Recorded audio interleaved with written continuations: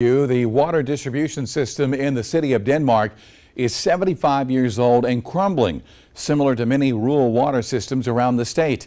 News 19's Lauren Thomas sat down with the mayor of Denmark to understand what steps are being taken to upgrade that system. Is the water safe here in Denmark? Yes, the water is safe.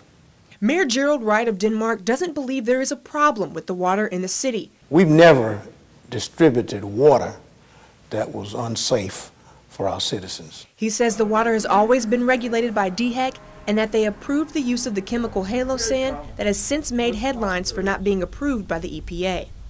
It was just not a chemical that EPA had uh, tested and put on the, on the approved list. So But, but the recommendation for its use came through the regulatory agency here in the state. And, you know, DHEC operate with people that are qualified and trained. So we, we had no reason to, to think they would recommend something that was not safe. And I still think it was safe. The six council members, all the staff that, that work in, in public works, and I all live in Denmark, and we use the city water. So it, it would be rather foolish if we were distributing water that was unsafe knowingly, and it's water that we must use. In early 2018, there was a public outcry against the use of the chemical halosan, and it's also at the center of two class action lawsuits against the city of Denmark. While the chemical is no longer in the drinking water in Denmark, citizens have lost trust in what's coming out of their faucets. and we don't trust the people who's telling us the water is safe to drink.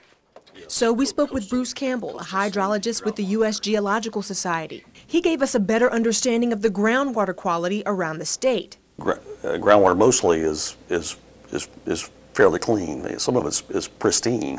Groundwater is the water that's found underground, in wells and aquifers, while surface water is found in rivers and streams above ground.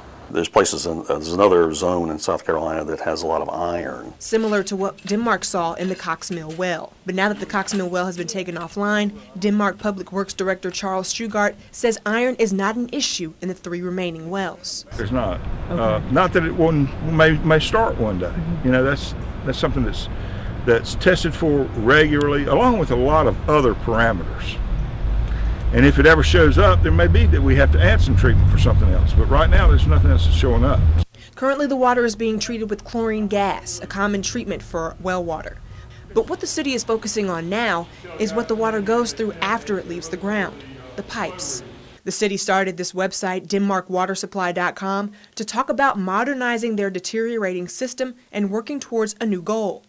That includes replacing water mains, rehabilitating the water towers, and adding a new $500,000 elevated storage tank, as well as upgrading the now three remaining wells in the city. Mayor Gerald Wright says those upgrades to the system will cost around $2.3 million. We, we've gotten grant money, and uh, in some cases, uh, loans. That's thanks to the help of grant funding with the South Carolina Rural Water Association. We're making progress. We've never, we've never just stopped and uh, allow things to go in the wrong direction. We, we're making progress. In Denmark, Lauren Thomas, News 19, WLTX.